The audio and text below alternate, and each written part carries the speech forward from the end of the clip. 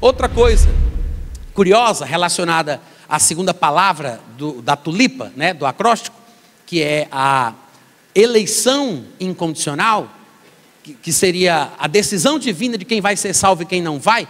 Não há razão pela qual uma pessoa possa ser salva, não importa se ela ouve a pregação do Evangelho, se ela se arrepende, se ela crê, não depende de absolutamente nada, a não ser a determinação, ou como eles gostam de chamar, o decreto soberano de Deus. Ou seja, é uma eleição incondicional.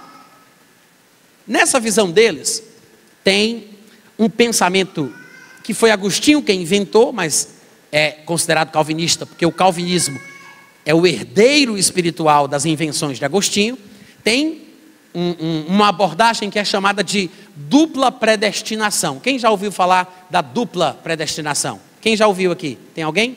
O que é isso, Natan? A dupla predestinação, em termos simples, é a ideia que Deus, soberano como Ele é, né?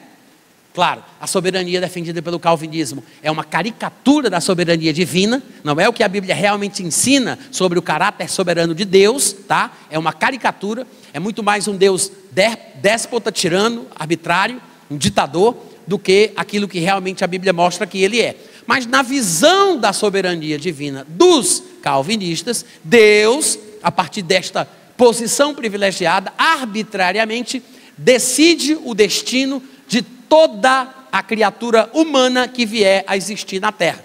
Então, todos os seres humanos que nascem já nascem com destinos previamente estabelecidos por Deus.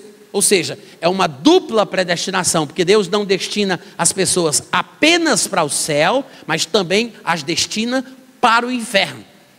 Alguns calvinistas, com pingo de juízo, têm vergonha de admitir a crença na dupla predestinação.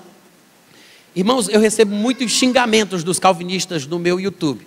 Eu tenho dois grupos que me perseguem, são os muçulmanos, por causa da minha abordagem sobre o anticristo, que eu defendo que vem dos ismaelitas e será praticante da religião islâmica, e os calvinistas. Mas nem os muçulmanos me xingam, e eu estou falando de palavrão pesado, nem os muçulmanos me xingam tanto como os calvinistas no YouTube. Então, é, eu sei como é que é a abordagem deles. E alguns demonstram a sua ignorância, dizendo para mim que eu estou mentindo, falando que o calvinismo defende a dupla predestinação.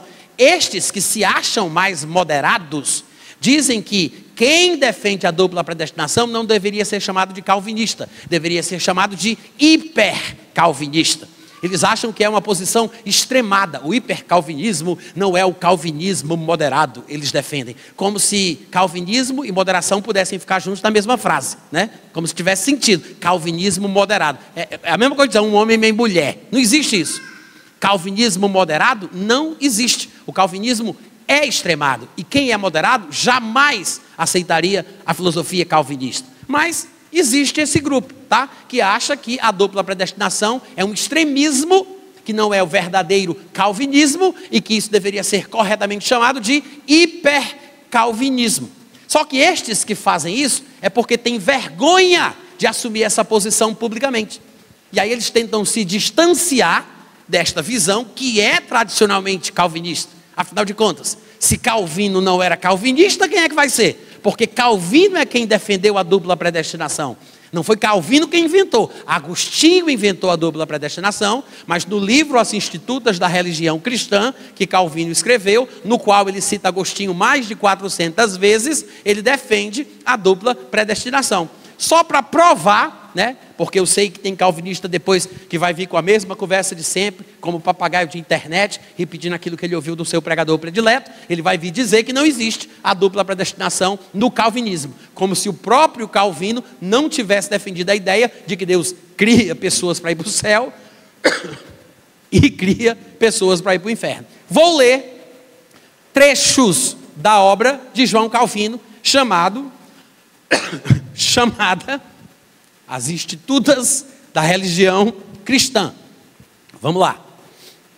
Eu separei alguns trechos desse livro, então eu vou fazer referência aos parágrafos, capítulos e seções da edição em três volumes, caso alguns de vocês depois queiram conferir em casa, tá? Mas, por exemplo, no volume 3, no capítulo 21, na seção 5, Calvino diz assim: chamamos presta bem atenção para ver se isso aqui é ou não é a ideia de predestinação dupla. Se não fala de predestinar pessoas para o inferno, porque os calvinistas que se acham moderados, eles dizem que Calvino só ensinava predestinação para o céu, que Deus não predestina ninguém para o inferno, só para o céu. Mas observa o que Calvino diz aqui, nesse lugarzinho que eu mencionei, volume 3, capítulo 21, seção 5. Chamamos predestinação o eterno decreto de Deus pelo qual houve por bem determinar o que acerca de cada homem ele quis que acontecesse. Porque Deus não quis criar a todos os homens em condição igual, ao contrário, pré-ordenou a uns a vida eterna, a outros a condenação eterna. Portanto, como cada um foi criado para um ou outro desses dois destinos, assim dizemos que um foi predestinado ou para a vida ou para a morte. É ou não é dupla predestinação? É ou não é? Claro que é, né, gente? Tá claro isso. Tá claro isso. Só se a pessoa é ignorante a respeito do próprio livro de Calvino, ou ela tem analfabetismo funcional, que ela lê e não entende. Porque, embora a linguagem seja um pouco mais confusa, né, do português mais antigo, um pouco mais rebuscado, se você tiver um pouco de paciência, você vai entender que o homem está falando que Deus manda uns para o céu e manda outros para o inferno. É ou não é? No, cap...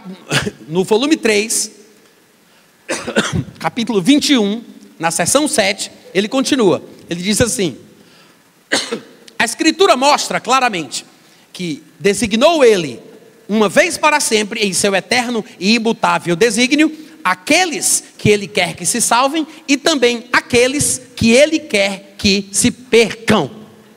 Deus, na cabeça de João Calvino, queria que pessoas se perdessem. Livro 3, capítulo 22, seção 11 os réprobos, lembra dos réprobos? Que é aquela casta do azar, que a pessoa não pediu para nascer, mas foi criada por Deus para ser colocada nessa categoria, pelo simples propósito de ser jogada no inferno, para glorificar a Deus que tem o poder de fazer isso? Os réprobos. Os réprobos são criados para este fim, ou seja, para que através deles a glória, para que através deles a glória de Deus resplandeça. Portanto, se não podemos assinalar outra razão, porque Deus usa de misericórdia para com os seus, a não ser porque assim lhe apraz, lhe dá prazer, tampouco disporemos de outra razão, porque ele rejeita e exclui aos demais, senão pelo uso deste mesmo beneplácito. Ou seja, assim como Deus usa de misericórdia para com alguns que ele quis, pelo seu prazer, porque isto lhe apraz, da mesma forma, e não por outra razão, mas exatamente pela mesma razão, é que ele também faz com que os réprobos sejam criados para o fim de serem lançados no inferno. Porque Deus tem prazer. Porque isto lhe apraz. É diabólico ou não é, gente? Livro 3, capítulo 23, seção 3, do mesmo livro de João Calvino. Venham todos os filhos de Adão, contendam e alterquem com seu Criador, porque antes mesmo de serem gerados, foram predestinados à perpétua miséria por sua eterna providência. Vai para lá, Satanás! Que diabo é isso, gente? Como é que o homem se esforça para falar bonito, para falar uma blasfêmia dessa? Não é uma blasfêmia, não? Ao caráter de Deus? É ou não é? Deus predestinou pessoas para a perpétua miséria pela sua eterna providência. Que é isso, gente? Que é isso? Isso é um absurdo. É um absurdo. Livro 3, seção 23, livro 3, capítulo 23, seção 4. Sem dúvida, Calvino, hein? Sem dúvida, confesso que foi pela vontade de Deus que todos os filhos de Adão estão nesta miserável condição. Porque Deus quis, foi pela vontade de Deus que os filhos de Adão estão nesta miserável condição e que ora se acham enredilhados, emaranhados, presos com cordas. E isto é o que eu dizia inicialmente. Por fim, tem-se sempre de envolver ao mero arbítrio da vontade divina. Ou seja, sempre vamos ter que aceitar que foi porque Deus quis. É o arbítrio da vontade divina, cuja causa está escondida nele mesmo. Ou seja, é mistério. A gente não sabe por quê, mas se Deus quis assim, é por isso que assim as coisas são. Porque Deus simplesmente quis. Livro 3, capítulo 23, seção 8. Pois não é provável que o homem tenha buscado a sua perdição pela mera permissão de Deus e não pela sua ordenação. Calvino está dizendo: eu não acredito, não é provável que Deus tenha permitido que o homem tenha caído e o próprio homem tenha buscado a sua miséria e que não tenha sido uma coisa que Deus determinou. Eu não acredito nisso. Não é provável que tenha sido apenas uma permissão divina. Eu creio que foi uma determinação, um decreto, uma ordem. Deus quis, fez com que isso acontecesse. E ele continua. Não é provável que o homem tenha buscado sua perdição pela mera permissão de Deus e não por sua ordenação, como se realmente Deus não haja estabelecido em qual condição quisesse estar a principal de suas criaturas. Ou seja, como se Deus não tivesse determinado o que é que ia acontecer com a principal criatura que ele criou. Claro que Deus foi quem determinou que o homem se perdesse. Deus não só permitiu, ele fez com que o homem caísse. É isso que ele está dizendo. E depois, o último, último trecho que eu quero ler das Institutas, volume 3, capítulo 23, seção 8, ele diz: O primeiro homem, pois, caiu porque o Senhor assim julgara ser conveniente. Porque ele assim o julgou, a gente não sabe, nos é oculto. Entretanto, é certo que ele não o julgou de outro modo, senão porque via daí ser com razão iluminada a glória do seu nome. Ou seja, por que, Deus fez o homem cair e não simplesmente permitiu que isso acontecesse, lhe dando condições de até rejeitar a Deus? Por que Deus fez com que o homem pecasse? Porque com certeza Deus via que daí o seu nome seria glorificado. Fazia parte do plano de Deus, da providência divina. A gente não sabe por quê, nos é oculto, é mistério. Mas é assim que ele acredita.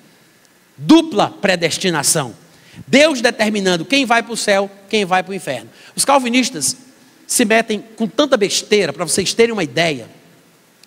Toda vida que eu falo sobre isso me dá uma ira santa, me dá uma raiva santa, porque eu acho isso ridículo, ridículo. Mas os calvinistas se, diz, se dividem em dois grupos: entre supralapsarianos e infralapsarianos. Essas palavras elas vêm é, do latim, tá? Lapso seria a palavra para queda, a queda de Adão, e supra é antes e infra é depois. Basicamente isso. Por que, que eles se dividem entre supralapsarianos e infralapsarianos? Porque eles se dão ao trabalho de querer descobrir se Deus primeiro decretou a queda, como eu acabei de ler que Calvino acreditava, se primeiro Deus decretou a queda para depois decretar quem vai ser salvo. Porque se eu acreditar que Deus precisou decretar a queda primeiro, a salvação dos que vão ser eleitos vai depender da queda. E isto seria uma condição. E Deus não pode estar condicionado a um acontecimento, mesmo que seja um próprio decreto dele. Então, eles acreditam que primeiro Deus decreta a eleição, antes, na linha do tempo, da eternidade, antes de decretar a queda. Ou seja, os supralapsarianos, que são os mais radicais, são aqueles que dizem: Deus decretou e determinou quem vai ser salvo antes mesmo de determinar, de decretar que o homem ia cair. Eita Deus poderoso! É assim que eles falam. Aí os outros dizem: não, todos os decretos são de Deus, então não tem problema nenhum. Nós acreditamos que primeiro Deus soberanamente decretou a queda e depois vai decretar, depois da queda, quem é que vai ser salvo. Gente, que besteira é essa, pelo amor de Deus? Que preciosismo é esse? Eles estão querendo ler a mente de Deus. Você percebe o quão ridículo é o calvinista se dando por sábio, acaba virando louco, falando de besteira, de coisa que não faz diferença, que não tem nada a ver, sem falar que é antibíblico e fere o caráter de Deus.